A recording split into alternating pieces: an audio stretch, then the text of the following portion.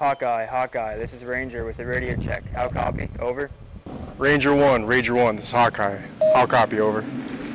Hawkeye, this is Ranger 1. I have you Lima Charlie. Over. Hi, I'm Technical Sergeant Mike Zarbo. I'm a team chief in the RF transmission shop for the 282nd Combat Communications Squadron. My primary duties in the RF shop are to work on things that wirelessly transmit for the Air Force. So satellite communications terminals, handheld and man-pack radios, microwave radios, things of that stuff. If it transmits wirelessly, it's ours.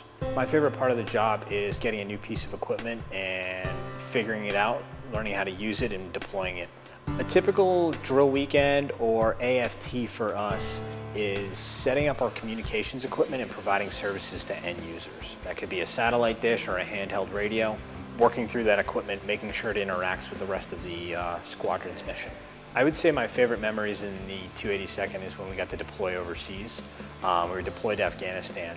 We got the opportunity to work with a lot of different services and folks from different countries and the ability to just go out and do your job and provide services to people. Really, really a great experience. Our job here affects the wing mission in two areas. We've got the JISCC terminal, which is a survivable communications package that we set up for emergency situations. It allows us to provide communications capability to folks should traditional infrastructure go out of service. We're a combat communications squadron, so we're able to go out to a bare bones base or an open field and set up and provide reach back, internet, phone, data services to end users. On the civilian side, I'm an RF engineer for Verizon Wireless. I took the training I got here in the Air Force and spun that into a pretty decent civilian career.